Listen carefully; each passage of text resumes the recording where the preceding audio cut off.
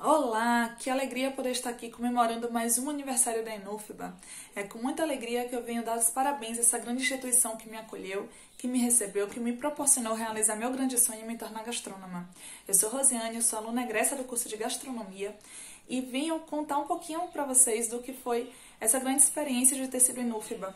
É, eu pude acompanhar o nascimento da escola de gastronomia, a escola a qual fiz parte, dizer o quanto foi importante, o quanto foi fundamental, o quanto a própria UFBA, o próprio curso de nutrição acolheu a minha, a minha turma e as outras turmas que passaram enquanto nós não tínhamos a nossa própria escola, o quanto isso foi importante para o nosso desenvolvimento enquanto profissionais.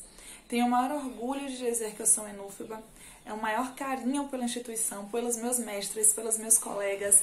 E estar tá aqui falando um pouquinho para vocês me trouxe muita nostalgia principalmente do jantar, que foi o grande marco né, para a construção da nossa escola, e dizer o quanto essa instituição é grandiosa e valorosa, e eu tenho muito carinho por ela até hoje. Eu saí da UFBA, mas eu ainda sou UFBA, né? Eu ainda sou Inufba.